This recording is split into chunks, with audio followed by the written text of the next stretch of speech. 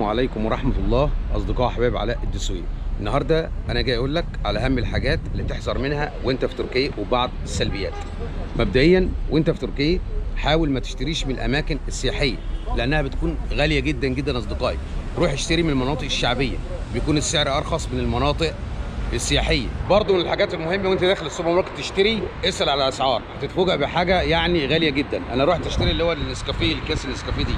من سوبر ماركت لقيت الكيس ب 8 ورحت سوبر ماركت تاني شعبي داخل الشوارع الجانبية بليرتين ب 2 ليرة. فالوضع مختلف. وانت بتشتري من المناطق السياحية حاول تسأل عن الأسعار الأول ما تشتريش على طول.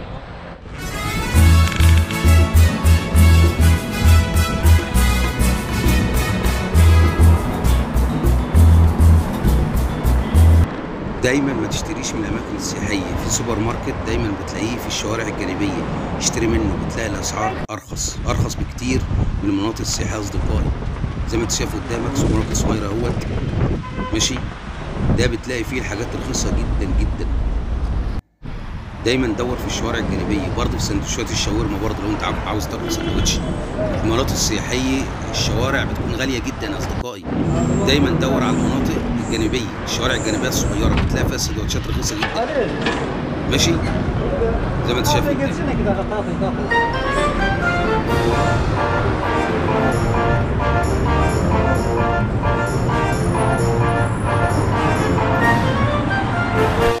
أي سوبر ماركت من الشوارع الجانبية بتلاقي الأسعار رخيصة جدا حرفيا. أنا جربت الموضوع دوت.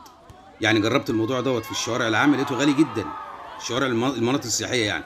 لكن تروح شوارع جانبية زي ما انت بتلاقي discount بتلاقي أسعار رخيصة على جميع المنتجات. يعني عاوز تشتري ملابس برضو عاوز تشتري شنط احذر تشتري من المناطق السياحية بتكون غالية جدا بيضاعفوا السعر عليك. دايما دور على الشوارع الجانبية بتلاقي فيها محلات كتير وعليها تخفيضات ماشي؟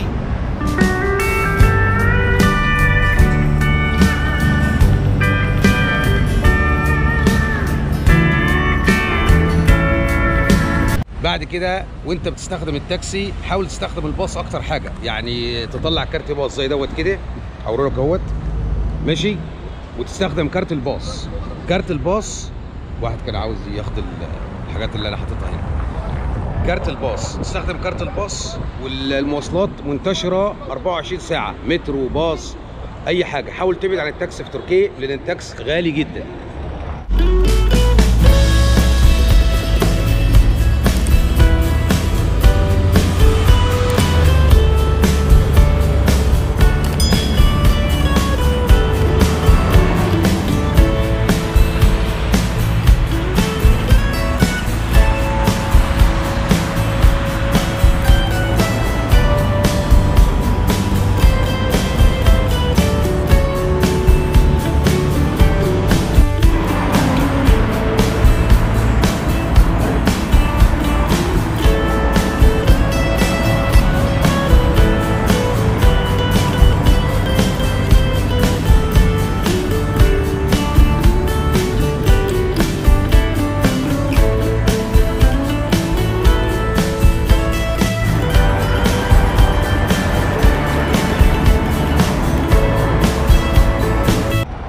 الحاجة اللي بعد كده اللغة الإنجليزية. اللغة الإنجليزية في تركيا مش منتشرة جدا.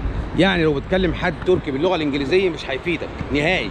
الشعب التركي بيعتز باللغة بتاعته اللغة التركية.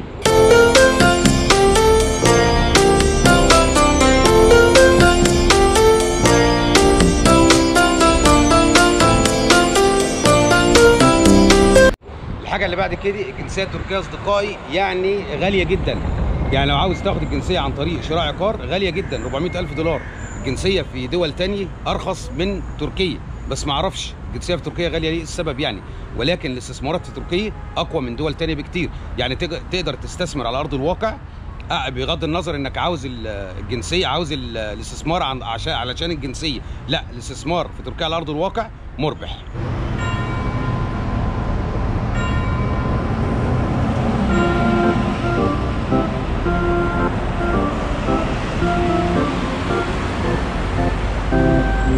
الحاجة اللي بعد كده الشعب التركي شعب طيب. لو حد عزمك في البيت لازم تروح لأنه بيزعل. وأنا بقدم كل الشكر للأستاذ فيصل على العزومة الجميلة جدا. كل الشكر والاحترام والتقدير للأستاذ فيصل. أنا بشكرك من كل قلبي. ودي من أهم الحاجات السريعة اللي قلت لك عليه. احذر وأنت جاي تركيا. طيب يا عم علاء السؤال المهم. هل تركيا تصلح للحياة والعيش أو تصلح للسياحة فقط؟ بص تركيا تصلح للسياحة لا تصلح للعيش فيها. لغة صعبة جنسية صعبة. حتى لو عن طريق الاستثمار الجنسيه برضه صعبة جدا مبلغ ضخم. يعني تقولش تركيا دي إيطاليا ولا ألمانيا؟ لأ. مبلغ كبير جدا عشان تاخد الجنسية عن طريق الاستثمار. ولكن تقدر تستثمر على ارض الواقع حقيقي مربح مربح في تركيا الاستثمار. إن في ناس من أوكرانيا وروسيا جايين يستثمروا هنا على ارض الواقع. لو أول مرة تشوف قناة الاسم علاء الدسوقي لو بتدور على سفر أو هجرة أو لجوء أو استثمار أو تأشيرات صحية ودراسة في الخارج فأنت في المكان الصحيح. اشترك في القناة وانتظر الفيديوهات الجديدة. والسلام عليكم ورحمة الله